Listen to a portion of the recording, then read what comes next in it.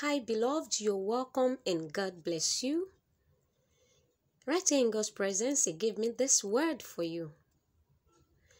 Before this message, He gave me a vision. In the vision, I saw a document, a document passing from one hand to another hand to another hand.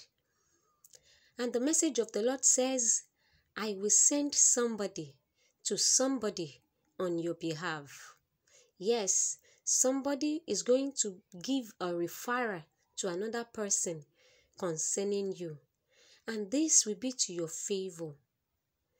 He said, In this month, this month, you receive help that comes from somebody and from somebody and from somebody on and on and on like that. Like a kind of connected breakthrough for you. And God is talking in terms of businesses and projects or trading. I'm praying for you.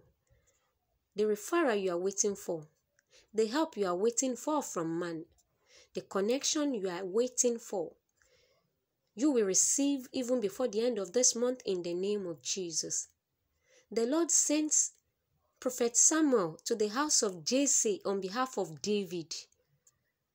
You too will receive help from somebody and somebody in Jesus' mighty name.